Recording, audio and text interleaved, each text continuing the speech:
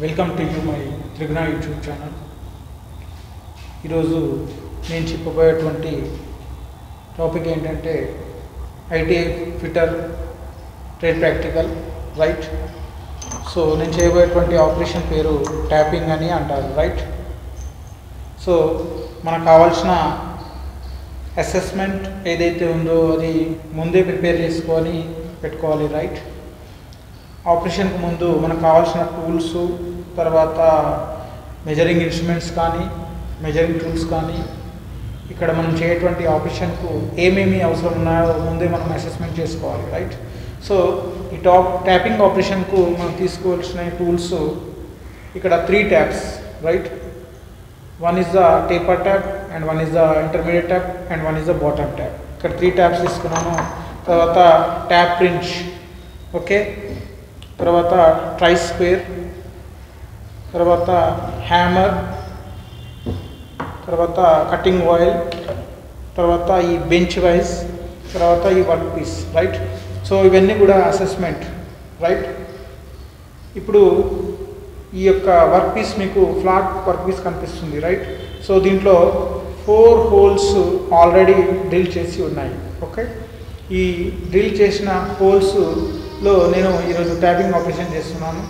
Tapping యొక్క size వచ్చేసి M twelve right so as per formula ప్రకారంగా నేను ఈ యొక్క డ్రిల్ చేశాను.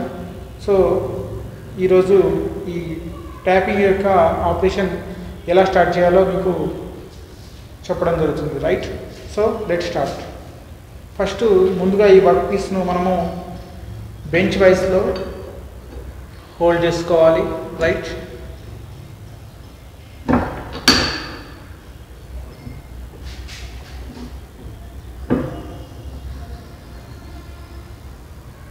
okay.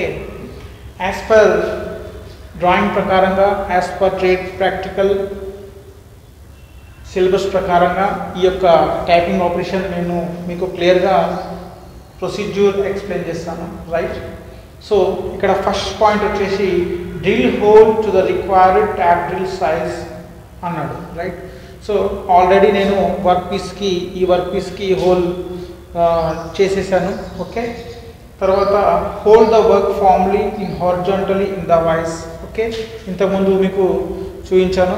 ఈ యొక్క వర్క్ పీస్ను మనము బెంచ్ వైజ్ పైన హోల్డ్ చేశాము right of the vice right ఈ బెంచ్ వైజ్లో మీకు ఏవైతే ఈ రెండు జాస్ కనిపిస్తున్నాయో ఈ రెండు జాస్కి వర్క్ పీస్ అనేది కొద్దిగా పైకి వచ్చే విధంగా మనం దీన్ని హోల్డ్ చేయాలి అని చెప్తున్నాను. రైట్ సో ఇప్పుడు స్టార్ట్ చేద్దాం రైట్ సో ఇది ట్యాప్ రించ్ అని అంటాము.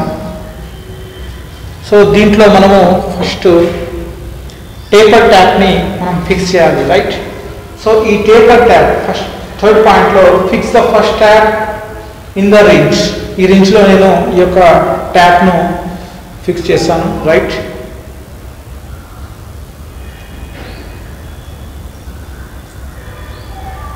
ఓకే నెక్స్ట్ పాయింట్ వచ్చేసి మనకి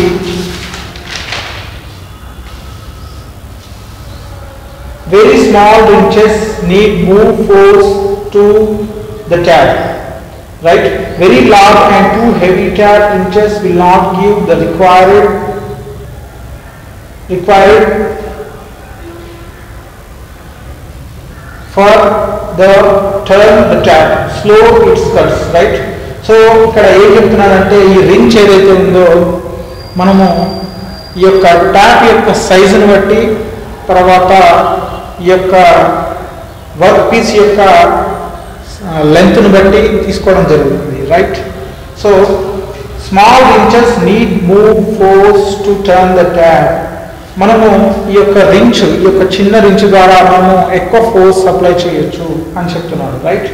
సో ఒకవేళ మనకు ఒక ట్యాప్ నుంచి ఒకటి ఇది లెంతీగా ఉన్నట్టయితే మనకు ఎంత ఫోర్స్ అప్లై చేసినా కానీ మనకు ఈ యొక్క చిన్న చిన్న వర్క్ పీస్లకి ఈ యొక్క ప్రెషర్ చనిపోదు అని చెప్తున్నాడు right so here position the tap vertically in the chamfer hole that the ensuring the wrench is in the horizontal plane right ఇప్పుడు ఈ యొక్క ట్యాప్ని ఈ యొక్క హోల్లో అలైన్మెంట్ చేయమని చెప్తున్నాడు రైట్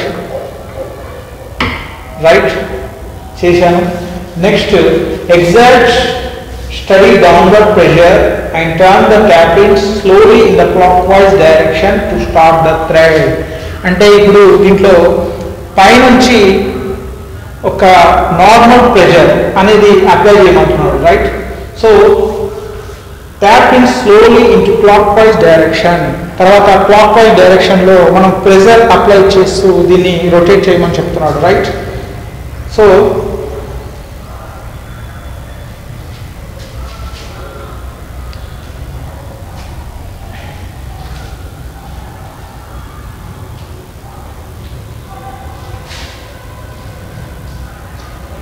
ఓకే. రొటేట్ చేశాను hold the tappings close to the centre అని చెప్తున్నాడు. ఏమంటున్నాడంటే ఈ యొక్క ట్యాపింగ్స్ను మనము ట్యాపింగ్స్ తోటి ట్యాప్ని క్లోజ్గా అంటే దగ్గరికి పెట్టమని చెప్తున్నాడు. అంటే కరెక్ట్గా టైట్ చేయమని చెప్తున్నాడు. Right when your shoe off starting to the thread remove the tap wrench without disturbing tap alignment so నేను ఒక టూ టైమ్స్ తిప్పేశాను. తర్వాత ఈ ట్యాప్ అలైన్మెంట్ అనేది నైంటీ డిగ్రీస్లో ఉందో లేదో చెక్ చేయమని చెప్తున్నాడు. Right so tap hand tap remove చేశాను తర్వాత ఈ టై స్పేడ్ ద్వారా దీని యొక్క రైట్ హ్యాండ్కి కరెక్ట్గా ఉందో లేదో చూస్తున్నాను. రైట్ కరెక్ట్గా ఉంది ఎగ్జాక్ట్గా ఉంది. ఓకే తర్వాత ఈ హ్యాండిల్ మళ్ళీ ట్యాప్ కదలకుండా ఈ యొక్క రేంజ్ను ఫిక్స్ చేయమని చెప్తున్నాడు. ఓకే తర్వాత ఇక్కడ కటింగ్ ఫ్లూయిడ్ ఇచ్చాడు. ఈ కటింగ్ ఫ్లూయిడ్ను మనము బ్రష్ ద్వారా కానీ తర్వాత స్మాల్ బ్రషెస్ ఉంటాయి. ఈ బ్రష్ ద్వారా మనము కూలెంట్ ఆయిల్ అప్లై చేయాలి యాక్చువల్లీ సో ఇక్కడ బ్రష్ లేదు కాబట్టి ఈ యొక్క కాటన్ ద్వారా ఈ యొక్క కటింగ్ ఆయిల్ అప్లై చేయడం జరుగుతుంది. Okay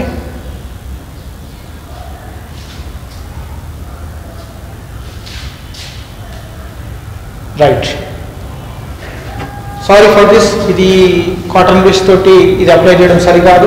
కానీ నేను బ్రష్ లేనందువలన కాటన్ బ్రష్ యూజ్ చేశాను. Okay so next point check that the tap is vertical with the help of small try square ఇంతకుముందు నేను ట్రైస్పేర్ ద్వారా చెక్ చేశాను. వర్టికల్ అలైన్మెంట్ కరెక్ట్గా ఉందో లేదో. Okay it is in the position make the correction ఇంకేమైనా corrections ఉంటే కరెక్ట్ చేయమని చెప్పాడు కానీ ఎట్లాంటి కరెక్షన్స్ ఏమి లేవు. This is done by exerting slightly more pressure to opposite of the tap inclination.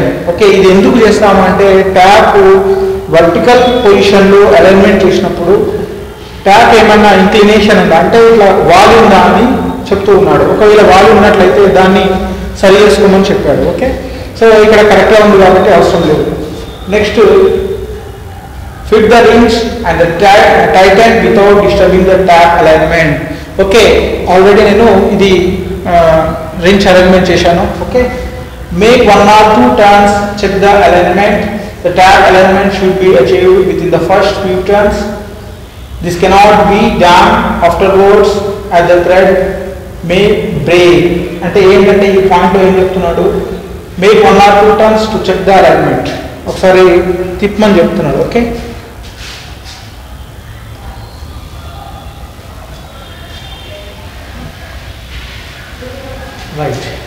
The tag alignment should be achieved within the first few turns. Cannot be done afterwards as the thread may breaks. ఒకవేళ తిప్పిన తర్వాత తిప్పక ముందే మనం alignment correct ఉందా లేదా చూసుకోమని చెప్తున్నాడు.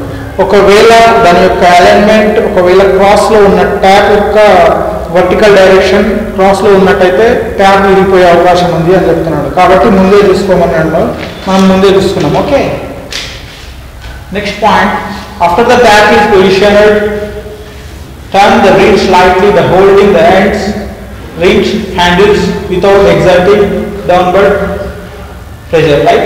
So, ఇక్కడ exert pressure apply చేయమన్నాడు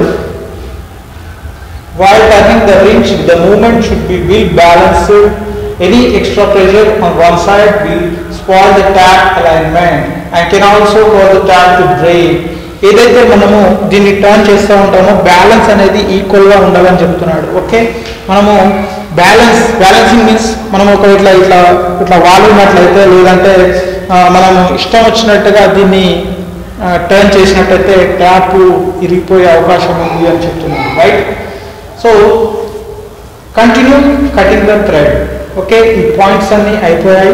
తర్వాత కంటిన్యూ చేయమన్నాడు. Turn backwards frequently about quarter reverse start to remove the chips so ఎప్పుడైతే మనము ఒక రెవల్యూషన్ తిప్పుతామో తర్వాత రివర్స్ డైరెక్షన్లో ఒక క్వార్టర్ పొజిషన్లో అంటే ఒక టోటల్గా ఓవరాల్గా త్రీ సిక్స్టీ డిగ్రీస్ మనం రొటేట్ చేసినప్పుడు దాంట్లో ఫార్టీ ఫైవ్ డిగ్రీస్ అంటే ఒక క్వార్టర్ పొజిషన్లో దాన్ని మనము వెనక్కి తిప్పాలి అని చెప్తున్నాడు. ఎందుకు అంటే మనం తిప్పినప్పుడు ఈ యొక్క చిప్స్ అనేటివి ఈ యొక్క థ్రెడ్స్ ఏదైతే ఉన్నాయో ట్యాప్కి ఆ థ్రెడ్లో జామ్ అయిపోతాయి అన్నమాట. సో మనము వెనక్కి తిప్పినప్పుడు ఆ చిప్స్ అనేది కింద పడిపోతాయి అన్నమాట రైట్ ఒకవేళ మనము దాన్ని రివర్స్ చేయకపోతే ట్యాప్ ఇరిగిపోయే సూచన ఉంది రైట్ సో ఓకే ఇప్పుడు నేను కంటిన్యూ చేస్తాను రైట్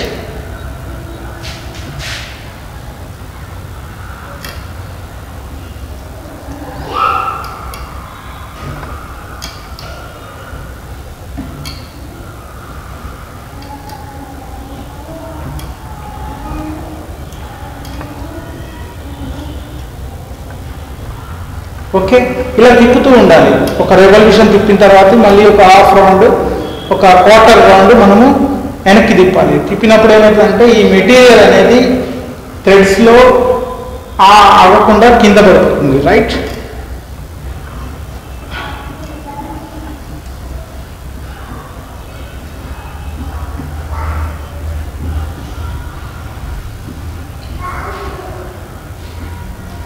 రైట్ సో టోటల్గా త్రూ హోల్కి ఇది రీచ్ అయిపోయింది.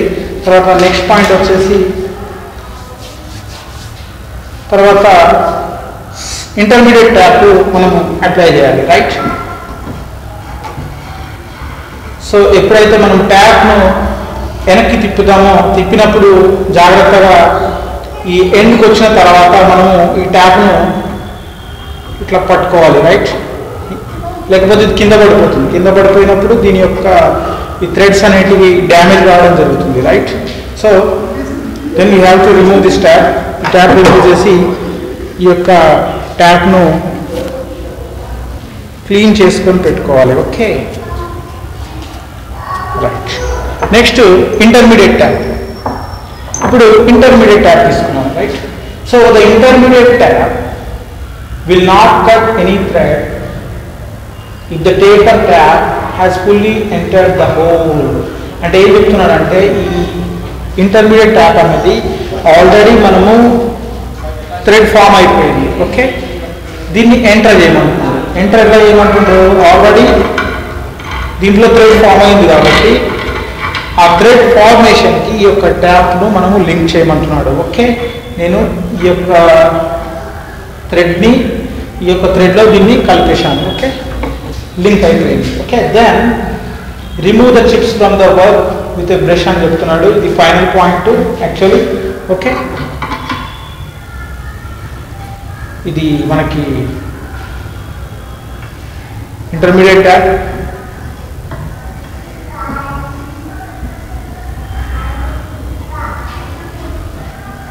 ఓకే త్రూ వెళ్ళిపోయింది. ఇది కూడా త్రూ వెళ్ళిపోయింది. త్రూ హోల్ వెళ్ళిపోయింది. రైట్ సో దాని నెక్స్ట్ ఇది కూడా రిమూవ్ చేసేయాలి.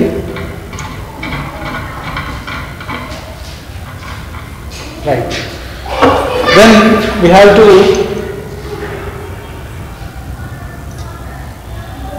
use this tap bottom tap ఇది లాస్ట్ బాటమ్ ట్యాప్ తర్వాత ఈ బాటమ్ ట్యాప్ను కూడా మనము స్టార్టింగ్ ఎంట్రీ చేయాలి. థ్రెడ్కి లింక్ చేయాలి. ఓకే థ్రెడ్ లింక్ అయిపోయింది.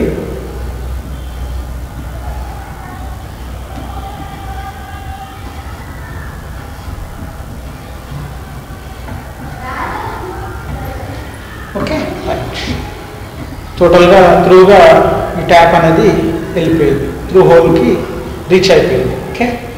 తర్వాత మనము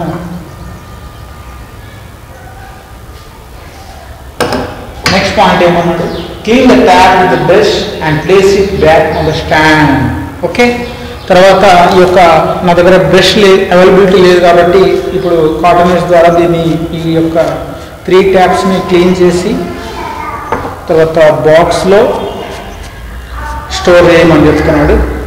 రైట్ సో ఈ ట్యాక్ ట్యాపింగ్ ఆపరేషన్ కంప్లీట్ అవుతుంది ఓకే తర్వాత ఈ యొక్క ఏదైతే మనం థ్రెడ్డింగ్ ఆపరేషన్ చేశామో దానికి బోల్డ్ ద్వారా అది కరెక్ట్గా ఉందా లేదా బోల్డ్ ద్వారా చెక్ చేయమని చెప్పాడు.